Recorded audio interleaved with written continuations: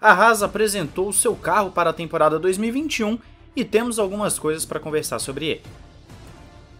Olá, amigo do Ressaca Fórmula 1, seja bem-vindo a mais um vídeo. Eu sou Matheus Pucci e o que está na sua tela é sim o carro da Haas, bem diferente do que estamos acostumados a ver, até bem diferente do que foi aquele com a Rich Energy, aquele preto com dourado.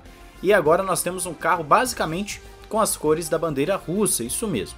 Se você não está entendendo, às vezes você é novo aqui no mundo da Fórmula 1, a Haas é uma equipe americana que geralmente corre de branco com preto e vermelho, ou então às vezes uma tonalidade mais cinza.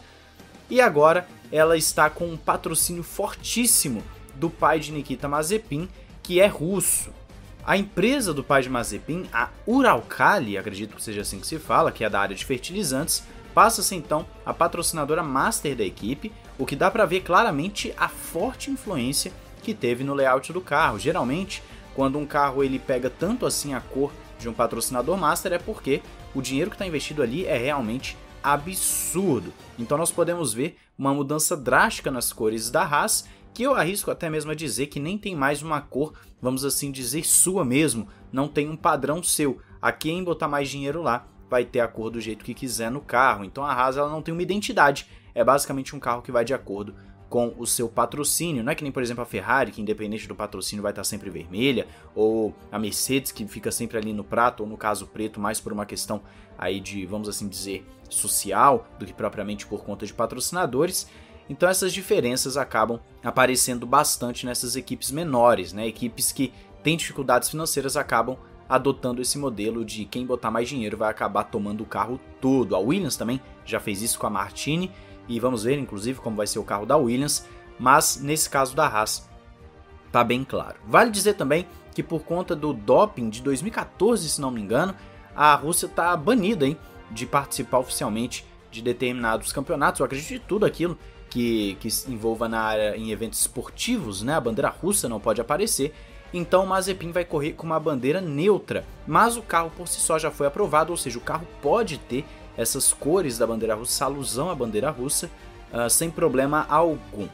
Falando então agora da aerodinâmica do carro, é onde talvez você fique um pouco, vamos assim dizer, triste, decepcionado com a Haas. O próprio chefe da equipe, o Gene Haas, confirmou que eles nem utilizaram seus tokens, as suas fichas de desenvolvimento para a temporada 2021 e que eles estão ali apenas para cumprir tabela, vamos assim dizer.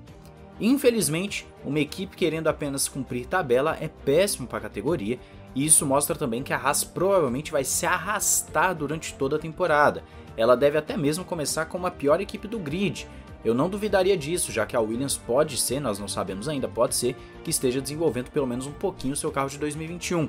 Então, olhar para esse carro da Haas e ver que vai ser um carro que vai apenas cumprir tabela é péssimo para a categoria a nível de desenvolvimento da categoria. Eu sei que tem muita gente aí que não gosta do Mazepin, que vai falar que isso é bom e tal, mas você tem que pensar também nesse caso especificamente na esportividade, né? O quanto mais carros disputando, melhor. E também existe outro piloto lá dentro, que é o Mick Schumacher, e que vai ter o seu trabalho aí prejudicado por conta dessa decisão da Haas, que não tem dinheiro. A verdade é essa, a Haas não tem dinheiro e eles estão focando, de acordo com o próprio chefe da equipe, o próprio dono da equipe, melhor dizendo, porque o chefe é o Gunter Steiner, o dono da equipe afirma que estão focando tudo em 2022 e que depois do Bahrein, que é a primeira corrida do ano, não deve ter mais nenhuma atualização, ou seja, tá tudo voltado para 2022 para ver se eles conseguem voltar a brigar no meio do pelotão.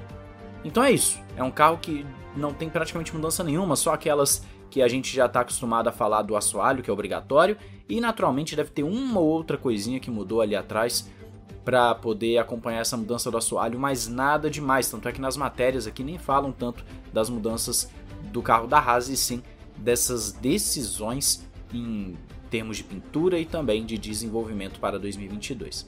Qual a sua opinião com relação ao carro da Haas? Diz aí nos comentários. E não esqueça de se inscrever, ativar o sininho para não perder nenhum vídeo, deixar o gostei que ajuda na divulgação, você ajuda muito o canal, é de graça, então clica no gostei aí. E claro, entra no nosso grupo do Telegram que tá bombando, cada vez mais gente entrando, tá bem legal. Grande abraço, valeu e falou!